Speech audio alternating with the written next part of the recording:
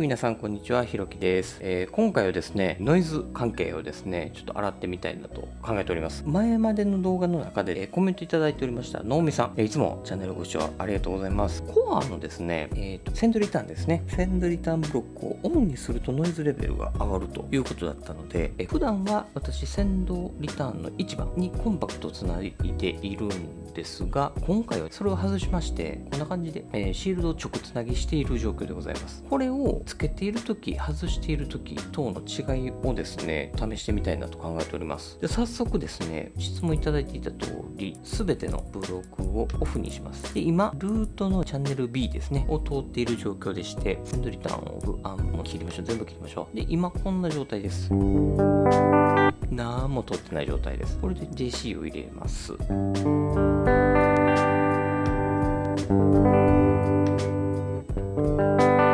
で、この状態でですね、ループ1を入れるとどうなるか。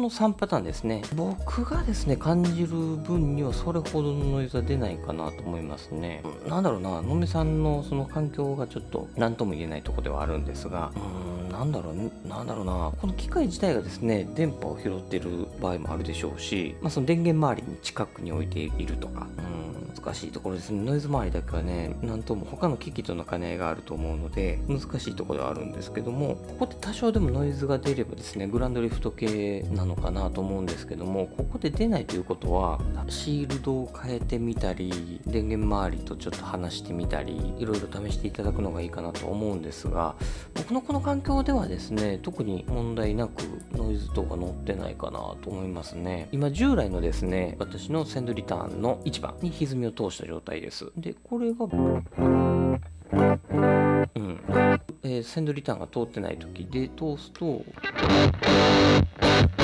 こんな感じなんで、特にね、ノイズが乗る感じではなさそうなんでですよね。のみさんすいません。あの、あんまりお役に立ってなさそうなんですが、もし万が一ですね、電源周りだった場合は、まあちょっと距離を置いていただくとか、僕これはパワーサプライで使ってるんですけども、もしかするとその、これをアダプターで使ってる場合は、タップの近くにノイズを拾うようなものがあるとか、まあ、いろんなね、可能性があると思うんですけど、もうこれはね、環境によっても違うので、もうパターンを試しまくるしかないかなと、え思います。はい。もしまた何かですね、新しいことが分かったら教えていただければと思います。よろしくお願いします。でですね、あのノイズ周りということなので、このノイズサプレッサーのですね、いかに使える機材なのかと、これもですね、触れていきたいなと考えております。今後ですね、このブロック一つ一つ、エフェクター一つ一つのこう機能がどういうものなのかと、これもあの説明していきたいなと考えているんです。まあ、それもですね、これからギターを始められる方とかね、に対してもご案内できるかなと思いながら、ブロックの説明をしていこうかなと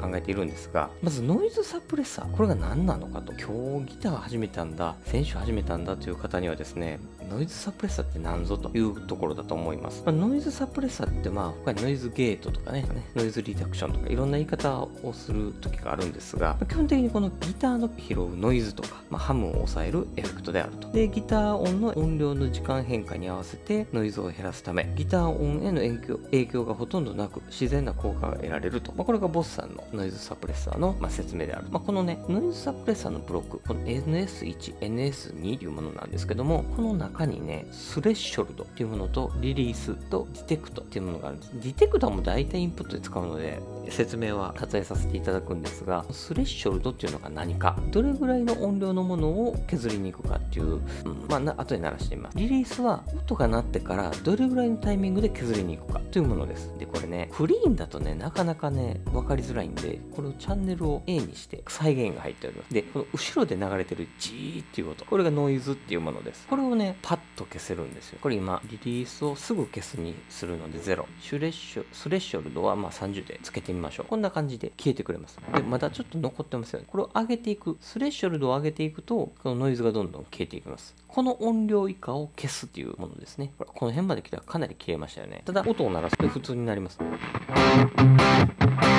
はい。まあ、こんな感じで普通に音が鳴ると。でね、ギターソロする場合、消えていく際の音のニュアンスがこれをかけてると消えちゃうんですよ。ノイズサプレッサーで消されてしまう。最後の方がちょっと切れるんですよ。あのノイズサプレッサーをかけると。音のね末端が。これをリリースをちょっと上げてあげる。そうすると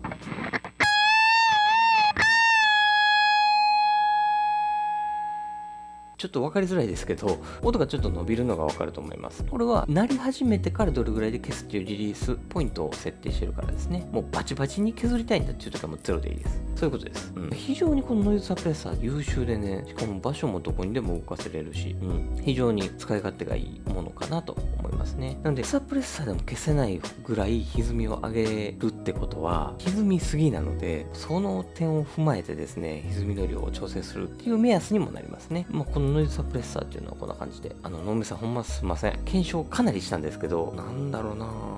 どっかからノイズを拾ってるのかもしれないです。うん。いろいろ試していただいて、検証いただければと思います。えー、今回の動画は以上です。また次の動画でお会いしましょう。バイバイ。